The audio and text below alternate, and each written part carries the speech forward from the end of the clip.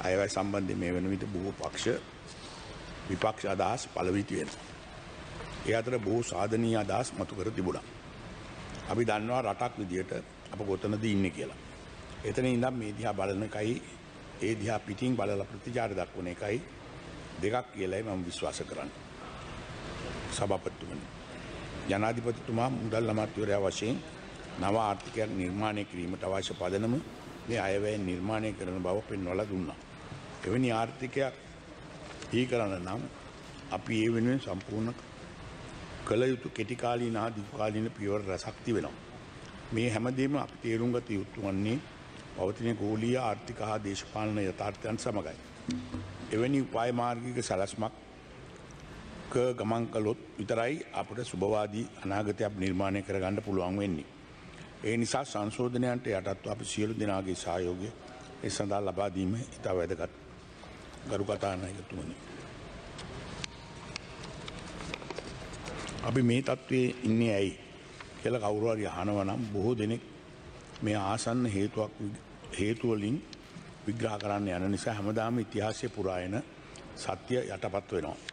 බදන්නවා යහපාලන ආණ්ඩුව ඉතා කෙටි කාලයක් තුළ ඉතිහාසයේ වැඩිම ණය බර ප්‍රමාණයක් ගත්තා. අපිට දරන්න බැරි තරම් ණය ගත්තා. ඒක මේ සභාවටවත් රටටවත් තවදුරට රහසක් නොවෙයි. අද ආර්ථිකය හදන්න අදස් ඉදිරිපත් කරන ඇතැම් අය එදා ඒ ආණ්ඩුව හිටිය කියලා අමතක වෙලා වගේ කතා කරනවා. හැබැයි වගකීම අරගෙන කරන්න කිව්වම බෑ කියන. ඒ අය කැමති ප්‍රශ්න විචාරය කරන ජනප්‍රිය පැත්ති ඉඳගෙන හැමදාම වීරයෝ වගේ ඉන්න.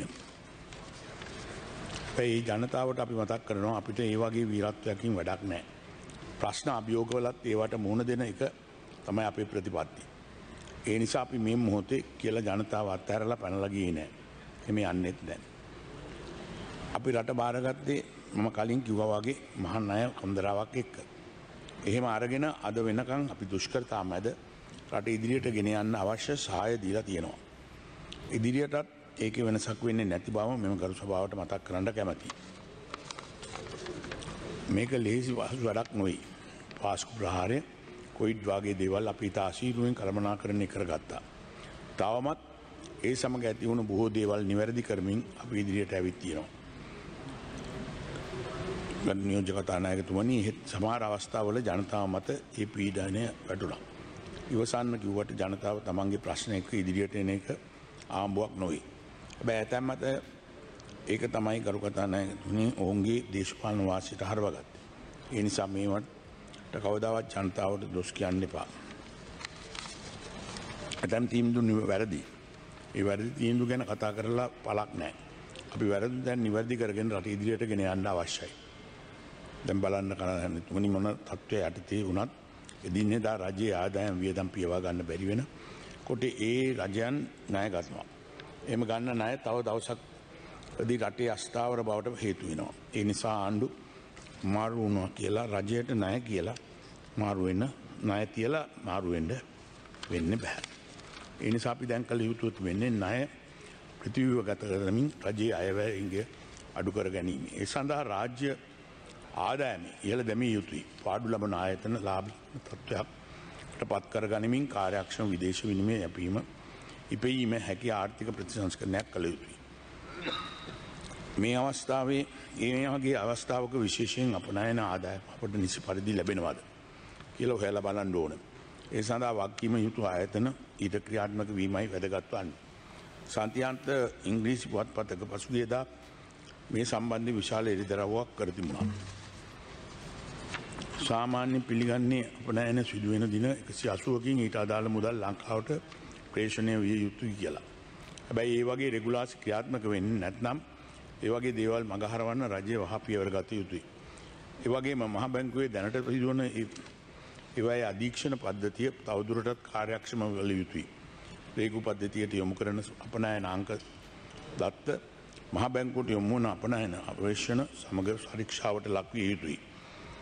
කරු කතානායකතුමනි හැමදේම එක්ක අපනයන අදහද අපනයන ආදායම් වැඩිකර ගැනීම දේශීය අපනයනකරුවන් දිරිගැන්වීමත් අවශ්‍යයි. අපනයන ආදායම් රටට ගෙනයමින් ඔවුන් කරන ජාතික මේවරත් අපි මේ අවස්ථාව අගේ කළ යුතුයි. මේ විතරක් නොවේ රට මුහුණ පාඇති මේ අර්බූදයෙන් ගොඩ ගැනීමට නම් ඒ අපනෑන ආදායම් විදෙස් ගිනුවලට තබ නොගෙන අපේ රට ඇතුළට ඇතුළට ගේන්න කියලා ඔවුන් සියදනාගේ ඉල්ලා සිටිනවා. කඩු කතා නැගතුමනි සමාජ ආරක්ෂණය තහවුරුවන අපනෑන මූලික කරගත් තරඟකාරී ආර්ථිකය පරිසරීත ගාමීන් නීල හරිත ආර්ථිකය වගේ ඩිසිටල් ආර්ථිකයත් අපි මීට පෙර ක්‍රියාවට නැංගවා. එම වැඩ පිළිවල මෙවර අයවැහෙන් නැවත තහවුරු කිරීමට රටේ අනාගතය වෙනුවෙන් තැබූ සුභවාදී පියවරක් විදිටයි අපි දකින්නේ. එදා විස්සයි විස්සදී මුදල් අමත්තිවරයා වශයෙන් අපි පුල් කරපු විද්‍යුත් රාජ්‍ය සම්ප්‍ර ප්‍රසම්බාධන ක්‍රමය EGP අද රාජ්‍ය ආයතන දෙසීයකට අධික සංඛ්‍යාවක භාවිතා කරනවා.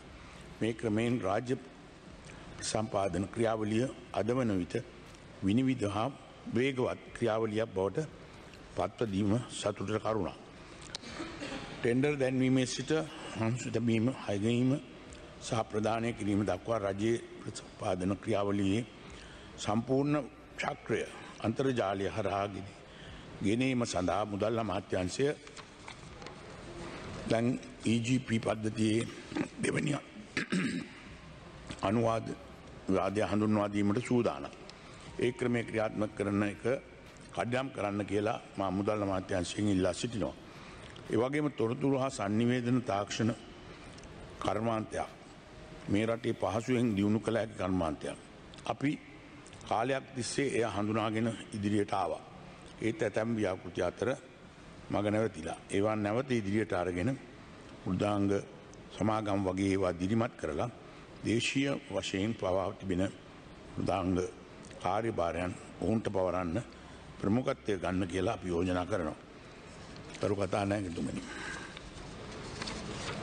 අපි දන්නවා අයවැ ඉදිරියට ඉදිරිපත් වනා කියලා ජනතාවගේ ප්‍රශ්නය කරයෙන් නිමකවෙන්න නෑ. අපි සාකච්ඡා කළ යුත්තේ ජනතාව මත වැටෙන ඒ ජීවන බර අවම කරන වැඩ පිළිවෙලක් ගැනයි. එම නැතුව අයවැ ආව එක විවේචනය කරලා කරා කියලා එම නැත්නම් ජනතාව උසි ගැන්නවා කියලා මම දන්න තරමින් රටට හෝ ජනතාවට සිදුවන සෙතක් නෑ. අද ජීවත් වෙන්න අමාරු තත්ත්වයක් නිර්මාණය වුණ ජනතාවක් ඉන්නවා. එවැනි අඩුවාදායම් ලබන පිරිස ආරක්ෂා කිරීම වෙනුවෙන් අයවැයෙන් විශල් මුදලක් වෙන් කරලත් තියෙනවා. ඔවුන්ට තවදුරටත් සුරක්ෂිත කරන්ට අපි විසින් සමාජ ආරක්ෂණ දැලක් එලිය යුතුයි. ඒක රටේ හැම හැම පක්ෂකම ප්‍රමුඛ අරමුණ විය යුතුයයි කියලා අපි විශ්වාස කරනවා. එමනැතු ඔවුන්ගේ දුක කඳුල ආවේගය තවදුරටත් රටේ දේශපාලන මෙවලමක් විය යුතු නැහැ. එනිසා දිලිඳු අවදානම් මත්ත මේ ඉහළ ඉන්න ජනතාව වෙනුවෙන් අයවැයින් වැදලිගේ යුතු මුදලක් වෙන්ව තිබීම සාධනීය තත්ත්වයක් වුණත් අපි ඔවුන් ගැන තවදුරටත් හොයා බලන්ට ඕන. ඒවගේම කෘෂි ආර්ථිකය ශක්තිමත් කිරීමට මෙවර අයවැයෙන් හොඳ තල්ුවත් දීල තියෙනවා. කුෂ්කර්මාන්තයේදී අපි කොවින්ගේ ප්‍රශ්නවලට ඇහුන්කම් දීලා මේ ගමන යනවා නම් මේ රටේ කෘෂිකර්මික නවෝදයක් වෙනුවෙන් අපට බෝධේ කළ හැකිව තියෙනවා. ගරු නියෝජ කතා නායකතුමනි රාජ්‍ය ආයතන කීපයක් තිව ගත කිරීම ගැන අයවැය අවධානය යොමු කරතු වෙනවා. ඒ අතර ලාබ ලබන රාජ්‍ය ආයතන තියෙනවා. ඒ නිසා පාඩු ලබන රාජ්‍ය ආයතන ලාබ ලැබීම තැනට පත් කිරීමට අවශ්‍ය පියවර ගැනීම තමයි අප මුලින් කළ යුතු ඇත් වන්නේ. එනිසා මොන ආර්ථික අභියෝගයක් යටතේ වනත් අපේ රටේ සම්පත් විකුණන එක. අපේ ප්‍රතිපත්තිය නොවන බව මා අදත් ඔබට සීපත් කරන්නට කැමති. නියෝජකතානායක තුමනි සංචාර කර්මාන්තය කෙරේ වගේම තරුණ ප්‍රජාව නගා සිටුවීමටත් අවශ්‍ය යෝජනා මෙවර අයවැය තුළ අන්තර්ගතයි. ඒගේම වගේම තමයි අධ්‍යාපනය ආරක්ෂාව කෙරෙහිත් ප්‍රමුකත්වය ලබාදී තියෙනවා. හැම පාසකම දරුවන්ගේ ඉංග්‍රීසි අධ්‍යාපනය ඉහල්ල නැංවීම මට කරන ප්‍රතිසංස් කරණයන් ඉතා වැදග. හැබැයි දරුවන්ගේ පතපොත ගන්න යන වියදම් අඩු කරන්න ඕන. දරුවෝ කියන්නේ අපි අනාගතය. දැන් සමහරු හනවා ආරක්ෂාවට මෙච්චර වෙන් කරලා ඇයි අඩු කරන්න තිබුණනි කියලා.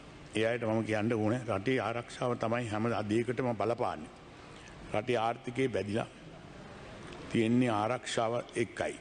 ඒ නිසා නිදහස් සෞඛ්‍යත් තහවුරු කරන ගමන් රටේ පවතින තත්ත්ව එක්ක ඉදිරියට යන්න නම් ඇතැම් වෙනස්කම් කරන්න අවශ්‍යයි.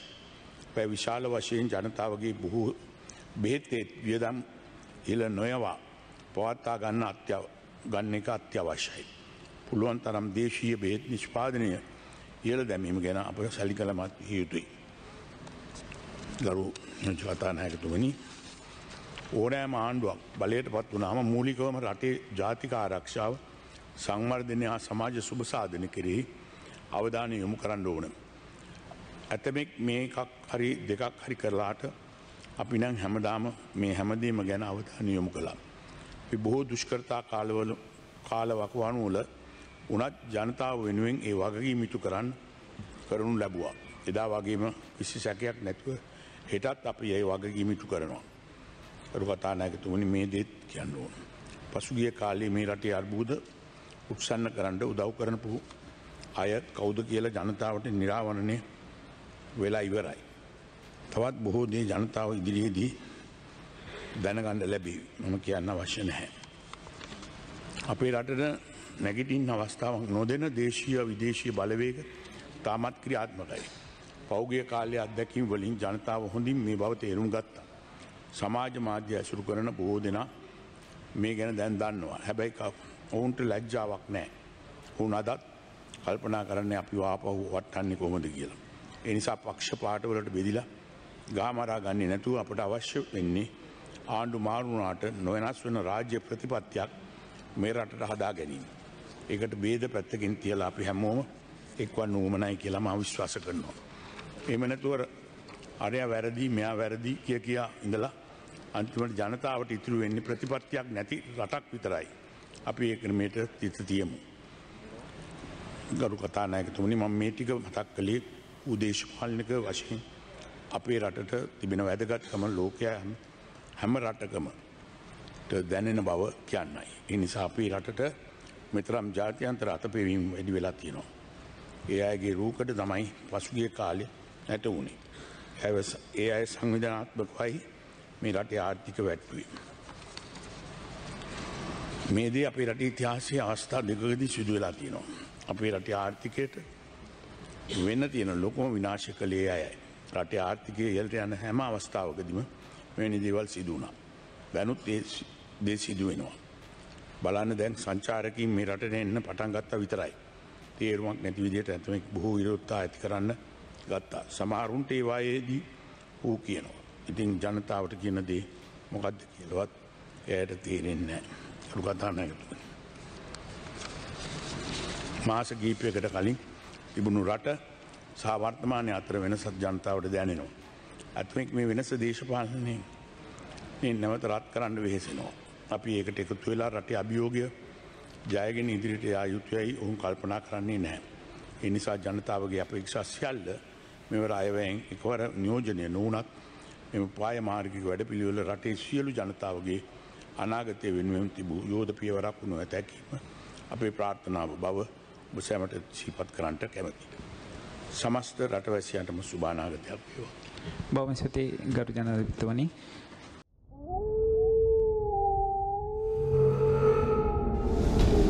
නිවස් රිපෝට වාරණයෙන් තොර අපක්ෂපාති වාර්තාකරණය